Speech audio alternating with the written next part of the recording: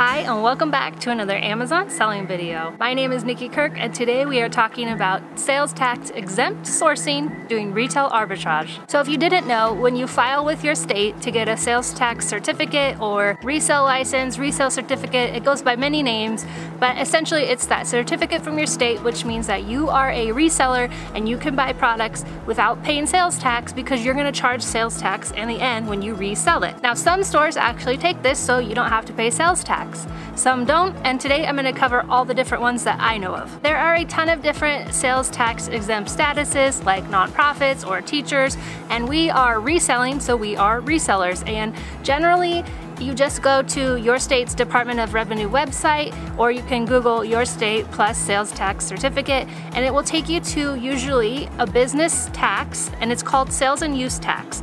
There you just file for your business to get your certificate. Now I am not a sales tax expert or a tax expert in any sense of the form. This is just how I know how to do it and how I've done it. In most states, you don't need anything to get your sales tax certificate. You can get it as a sole proprietor. You don't have to be a registered business or have an LLC. You can register as a sole proprietor. I've done a few different videos on sales tax in general, like does Amazon collect, do you have to pay, and all of that. And so I'll link them here, but just know that this video is just talking about using your tax certificate at retail. So once you have it, obviously you wanna use it, right? So I got mine a while ago. I've had it for a while, but I didn't start using it until until a year ago. So I've been selling for four years and for three years I was paying sales tax on everything and I was losing out on so much extra profit. So don't be like me. If you have your certificate, just use it. I don't know why it took me so long. I thought like I was doing something wrong or something. I don't really know. You know when you don't know, you don't know and so you're kind of scared of something.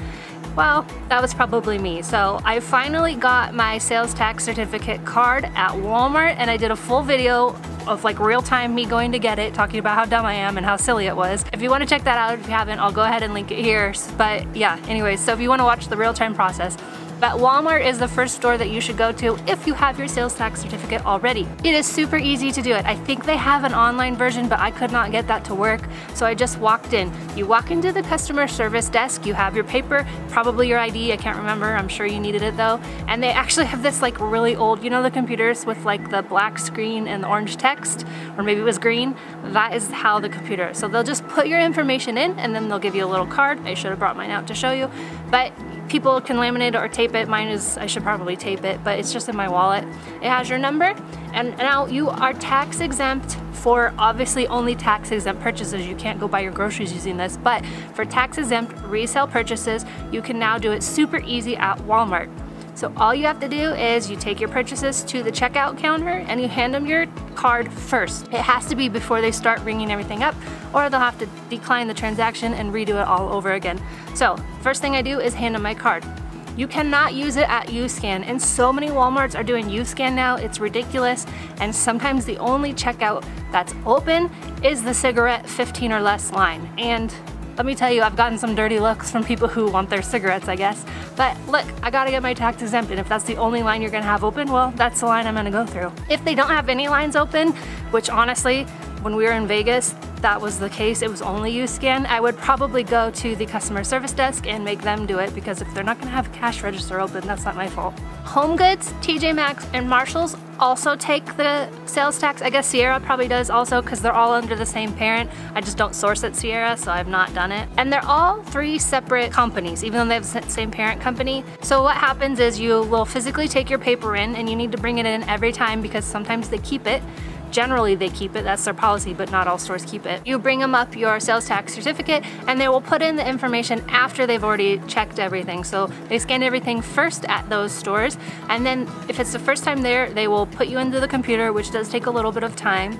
Usually, like Marshalls, all the systems are the same, so no matter what state I'm in in that Marshalls, it will work. They can put in, I think they asked me for my phone number or my name, I can't remember. I just give them the paper every time, and so they must just look it up actually, now that I'm thinking about it. And so it's easier to do that way because I'm already in the system. Again, if you're first time at Home Goods, they'll have to do that. So if they keep your paper, just know that's normal. That's what they're supposed to do. Some of them don't. One time I had this ratty old one that had been in my purse for a while, all folded up, and I was literally using it all day at Marshalls and TJ Maxx and Home Goods and not a single store kept it and I was like, why? I was just trying to get rid of this ripped up one, but I ended up having it all day, literally no store. But the crazy thing is that I forgot to have multiple copies in the car. So I even went to FedEx office, whatever it's called, and I made more copies because I was gonna be outsourcing and literally I didn't use a single one of those copies. So now I have even more, but it was kind of crazy. So always have multiple copies and make sure you grab it. There's been many times that I've been like, oh shoot, and I just leave my cart, run out to the truck, go grab it, and come back in. The only time I've ever had problems using it was in Arizona. I don't know what Arizona's sales tax policy is, but the manager at Marshall's was like, no, we can't take this because it's out of state. I've actually never used my sales tax certificate in the state that it's issued. It doesn't matter because I'm paying sales tax when I sell the stuff. Anyways, she was like, no, it needs to be this number, whatever. And I'm like, no, I'm in your system, just look me up. And she's like, no, we can't take this. So I didn't want to fight it and I just ended up paying sales tax. But if you call corporate, you can even get the manager's name if you want in the store you're at. If you call corporate, they will reimburse you because that is their policy to take them. And so the manager should have taken it. Tuesday morning is another one that takes them. So at Tuesday morning, again, after you've been everything rang up, they will go ahead and give you a form to fill out and you have to fill it out every time. It's just your number. You keep your paper, they don't keep it. So you just fill out your information on the form and then they put you in and you don't pay sales tax. Again, in Arizona, I don't know what it is with Arizona, but they were like, it was in the Flagstaff area, all of this happened. They were like, oh, this isn't gonna work. And I was like, but he tried it anyways and what do you know? I didn't have to pay sales tax, so it did work. Sometimes I don't know why. I feel like I'm at the point where I can tell the managers or the cashiers how to do it because I've done it so much, but you know, they think they know what they're doing, so I just sit there and wait for work. Ollie's is another one that you can use it at and you should use it at. And in fact, if you're a member, you should be. If you're an RA seller who sources at Ollie's, definitely join the Ollie's army so that you can get those coupons for 10 and 15% that happen. They, you'll almost always have a coupon because of the amount you'll probably be buying. But they do also do tax exempt so you can use your coupon and not have to pay sales tax. So that's really awesome and it really helps the profits add up. Now I give mine to the cashier every time, but I am pretty sure that they will actually put you in the system with your like Ollie's number and it'll have you in there. I don't know why I've never done it or why they haven't done it, but that's what I've heard that they actually will do. So either way, you just take it right to the cashier that you're checking out and again, they do it at the end. I believe Grocery Outlet does, but I've only ever sourced Grocery Outlet in Oregon, so I'm not 100% because we don't have sales tax in Oregon, so I've never had to pay it there. And those are all the stores that I know of that takes the sales tax exempt. If I missed any, please comment below and let us know where else we can be using it. Ross generally won't take it. I have had people say that they've had success, but I've never had success. Wherever you're at with this form, literally just slam it on the thing and say this is sales tax exempt purchase and just see what happens. Own it, have authority because you're not doing anything wrong, be confident, and usually Ross will say no, they don't do that. Now Target is another one that they have a policy against resellers so they can turn you away and not sell to you if they want to. I have never tried to use my sales tax certificate, but I know that people have, especially if you're in another state, because they don't necessarily know what it is. It looks different than the one they're used to. So at Target, I end up always just paying sales tax.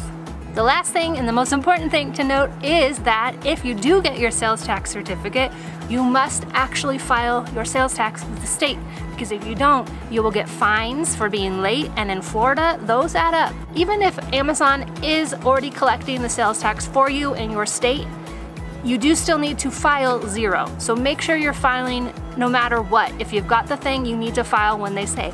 Depending on the state, it can be annually, semi-annually, or quarterly. Some states even monthly. So I hope this video was helpful and gives you the confidence to get out there and use your sales tax certificate to save some money and get some extra profits. If you need my help, if you want to take my beginner Amazon selling course, or if you need to get ungated or join the Bolo group, all the links are below as always. Thank you guys so much for watching and happy sourcing.